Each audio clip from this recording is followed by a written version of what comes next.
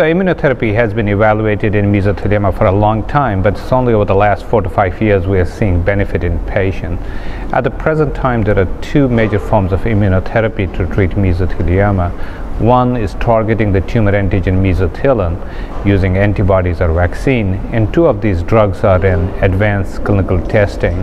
One in the frontline setting called amatuximab, and the other drug, anetumab ravtansine, which is an antibody drug conjugate, is in a registration trial in the second line setting.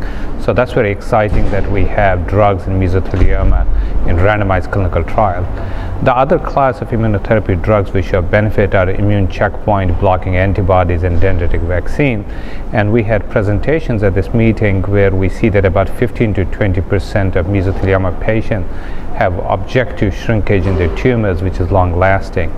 Uh, we are not able to predict which patients will benefit, but it is exciting for a disease for which no drug has been approved since 2004. So I think the future of immunotherapy in mesothelioma using mesothelin targeted agent or immune checkpoint blocking antibodies is really exciting and there are many, many clinical trials uh, going on which gives us hope that immunotherapy could benefit some patients with mesothelioma.